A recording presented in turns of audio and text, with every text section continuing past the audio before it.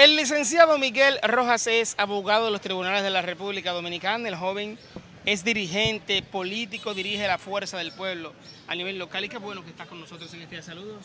Saludos a ti y a ese público que te sigue cada día y que crece. Sí, la ACISA dice que Leonel Fernández y el presidente están bailando pegados y en un tercer y lejano lugar con un 19.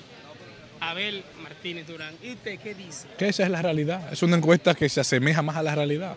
De que hay un acercamiento, de que hay una brecha muy corta entre el presidente Luis Abinader y el presidente Leonel Fernández, y que en un tercer lugar muy lejano se encuentra el Partido de la Liberación Dominicana y su candidato Abel Martínez. Esa es la realidad.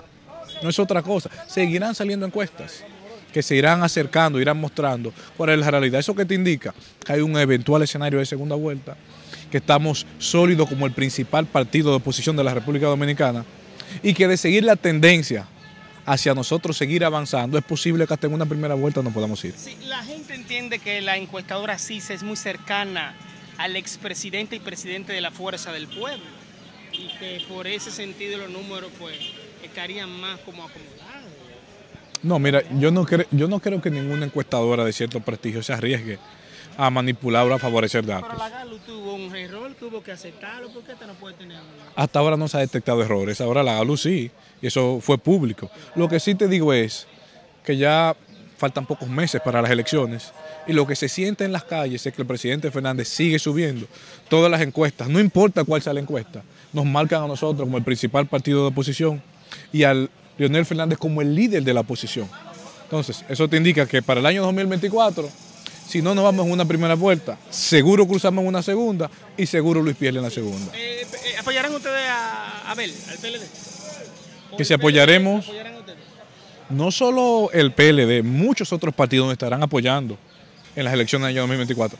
Para las presidenciales ya será en una segunda vuelta, porque ellos mantendrán su candidato que debe ser lo correcto, pero entiendo que ellos más otros partidos nos apoyarán en una segunda vuelta. Ahí Van Juárez Cortiñas estuvo acá en Higüey recientemente y dijo que ustedes iban a ir aliados aquí eh, con, con, muchos partidos. ¿Van a ir con, con Karina ustedes? Iremos aliados, iremos aliados a muchos partidos. Nada más tres partidos? No, no. Tenemos, tenemos en el sistema más de 27 partidos políticos. No, son partidos importantes todos. No son partidos mayoritarios.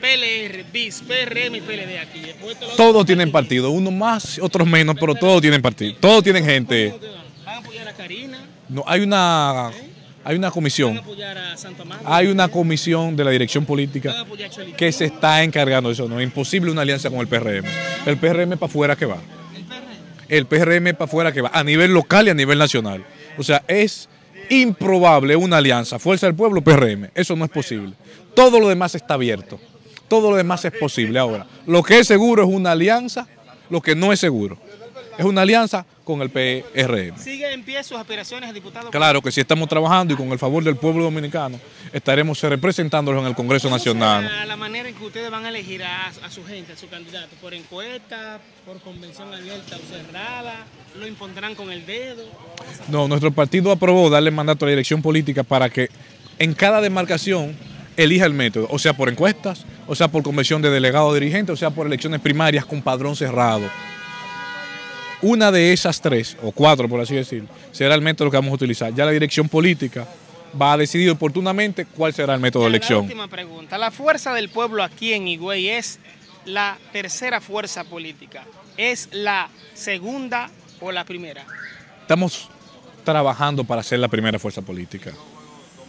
Seguro que sí. Tenemos más de 30 mil personas inscritas ya en el padrón de nuestro partido y esos resultados se van a ver en las elecciones del año 2024. Gracias, Miguel. Gracias a ti.